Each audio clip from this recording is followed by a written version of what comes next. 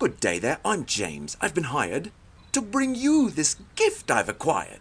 But first, I must say a grand happy birthday to you who are greatly admired. In just a short while, I will find you and quietly slip up behind you to present you this sash and this big bag of cash. Come looking for me and I'll blind you. Happy birthday!